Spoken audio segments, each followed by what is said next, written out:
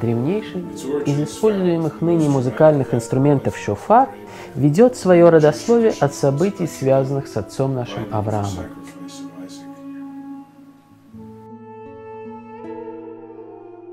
Недельное чтение Торы Акида особенно важно для понимания сути и глубокого раскрытия одного из имен Шофара – Керен. Именно в этой главе мы находим самое первое упоминание в Библии слова «керен», что означает рог. Впоследствии этот рог «керен» станет музыкальным инструментом, полным символического значения. Речь идет о роге барана, которого усмотрел себе Бог и которого Авраам принес во всесожжение вместо Ицхака. И было, После этих событий Бог испытал Авраама и сказал ему, «Авраам!» И он сказал, «Вот я».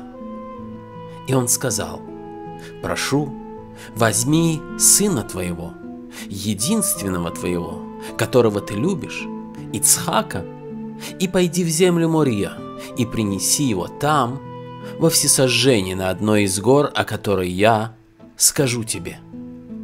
И встал Авраам рано утром, и оседлал осла своего, и взял с собой двух отроков своих и Ицхака, сына своего, и наколол дров для всесожжения, и встал, и пошел на место, о котором сказал ему Бог.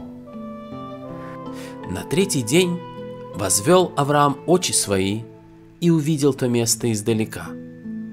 И сказал Ицхак Аврааму, отцу своему, говоря, «Отец мой!»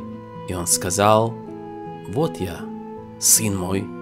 И он сказал, «Вот огонь и дрова, где же агнец для всесожжения?» И сказал Авраам, «Бог усмотрит себе агнца для всесожжения, сын мой». И пошли оба вместе. И пришли на место, о котором сказал ему Бог, и устроил там Авраам жертвенник, и разложил дрова, и связал Ицхака, сына своего, и положил его на жертвенник поверх дров, и простер Авраам руку свою, и взял нож, чтобы зарезать сына своего, но воззвал к нему ангел Господень с неба и сказал, «Авраам! Авраам!» И он сказал, «Вот я».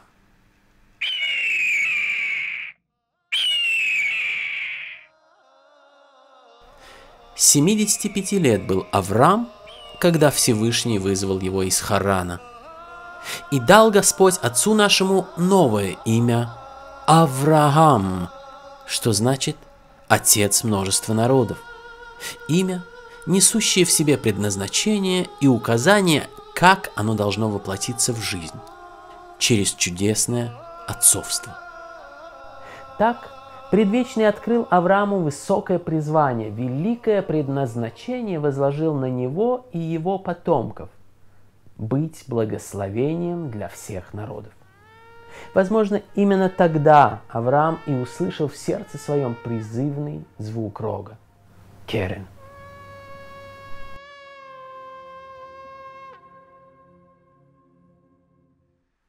Наше призвание простирается в вечность, если мы храним верность призывающему. Оно подобно лучу, устремленному в бесконечность. Луч света имеет начало, источник. Без него не может быть света. Он, этот источник, хранит, дает силу, поддерживает свет и распространяет его повсюду. Этот луч света на иврите «керен».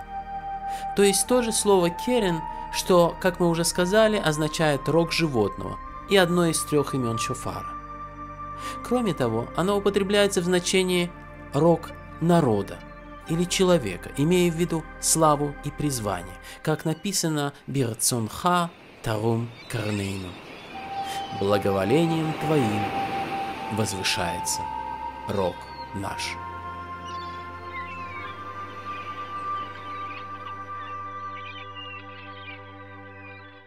Призвание всегда соединено с жертвой. Жертва и призвание – вот две важные вещи, которые стоят в центре повествования Акида. И весьма символично то, что второе упоминание рога Керен, встречаемое нами в Писании, имеет отношение к повелению Бога относительно жертвенника. Моше устроил его в пустыне по образу небесного. Сделай роги на четырех углах его, так, чтобы роги выходили из него.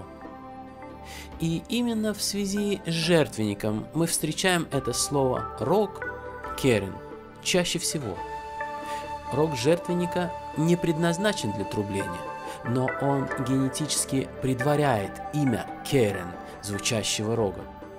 Рог жертвенника на земле тесно связан с рогом, взывающим с неба. И многократное обращение Торы к рогам жертвенника есть напоминание о том, что слава и призвание Керен неразрывно связаны с жертвой и испытанием.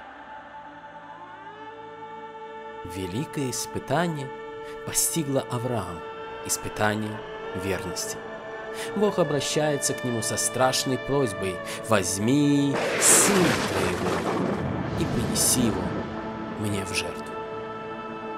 Испытывая Авраама, Бог попросил его отдать сына, предоставив ему возможность выбора.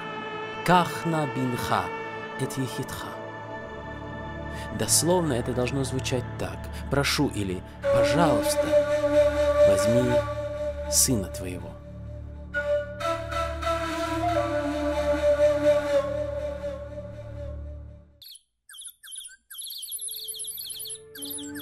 Археологи утверждают, что на территории Ханаана, населенного язычниками, в те времена существовал обряд жертвоприношения первенцев. При закладке дома, города, другом важном начинании, они приносили в жертву первенца.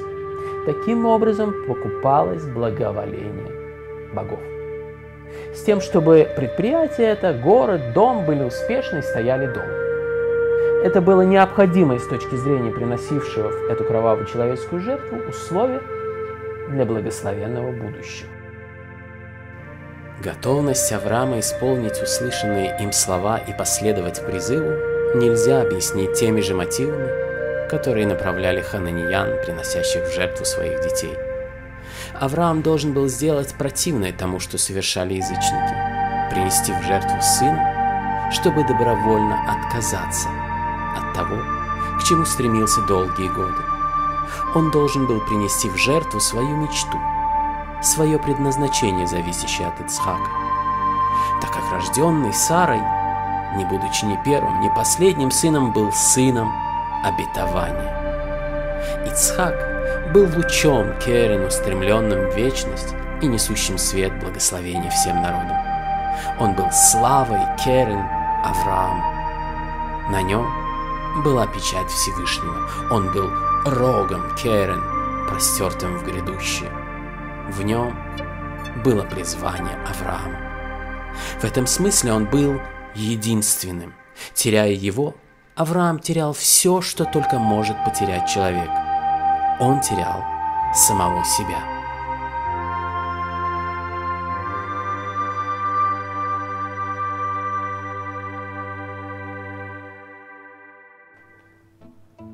Авраам с готовностью отдал бы Богу свою жизнь, принес жертву самого себя. Ведь оставался Ицхак, а значит жизнь его не была напрасна. Она принесла великий плод. Нет, она не была напрасна. Его мечта, его призвание, то, к чему он стремился всем своим сердцем, осуществилось. Вот он стоит, старик, 130 лет, самый счастливый отец, ходивший когда-либо по лицу земли.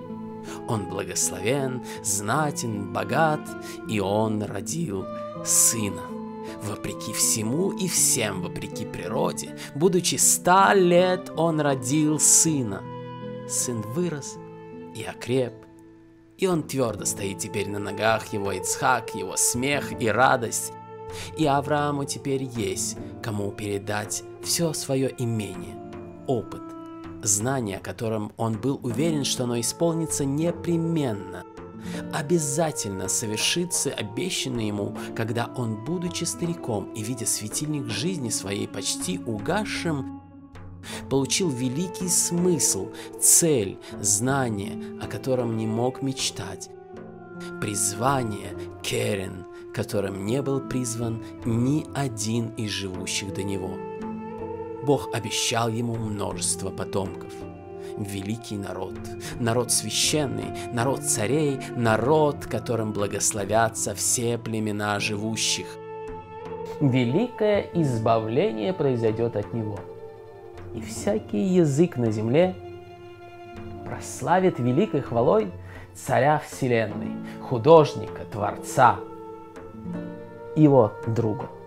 Да, его другом был тот, кто сотворил небо и землю, кто повелевал солнцу и звездам, и воды морей были послушны ему – и Авраам не раз испытал на себе безмерную щедрость друга, его великую милость и верность, его не перестающую, не знающую границ любовь. И вот друг предложил ему доказать свою любовь, которая тоже не знала бы границ, если вообще можно ожидать от ограниченного человека любви без границ любовь без границ.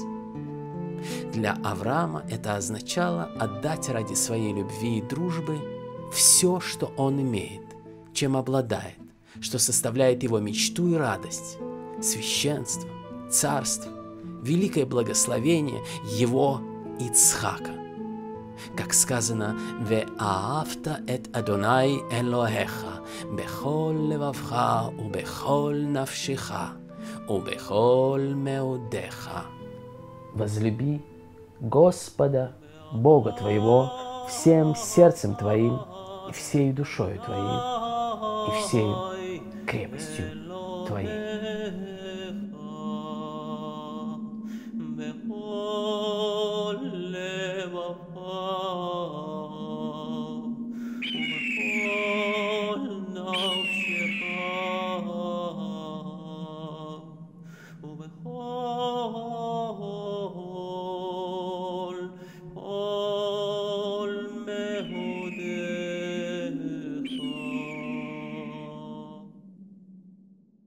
Авраам стоял потрясенный услышанным. «Возьми сына твоего». Быть может, уже тогда он слышал в сердце своем этот особенный, зовущий голос шофара, тревожный и ужасный. Простой и великий. Сердце его трепетало, едва распознав эти пронзительные колебания. Всегда когда звучит призывающий голос шофара Керен, он напоминает о призвании и жертве. Голос шофара – это всегда голос жертвы, отчаянный крик жертвенного животного, ведомого на заклание.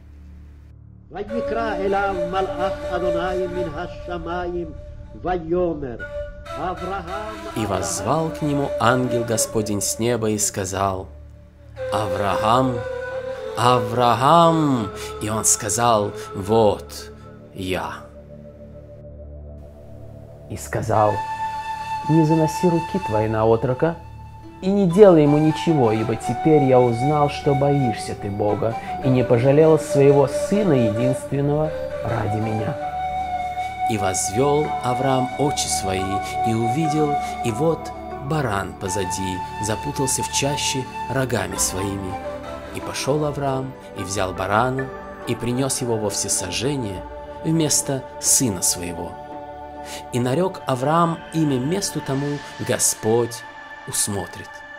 Посему ныне говорится, на горе Господней усмотрится. И возвал ангел Божий вторично к Аврааму с неба и сказал, «Мною клянусь, — говорит Господь, — так как ты сделал это дело, и не пожалел сына своего, единственного, я, благословляя, благословлю тебя и умножая, умножу потомство твое, как звезды небесные и как песок на берегу моря, и овладеет потомство твое вратами врагов своих. И благословлятся в потомстве твоем все народы земли, за то, что ты послушался голоса моего.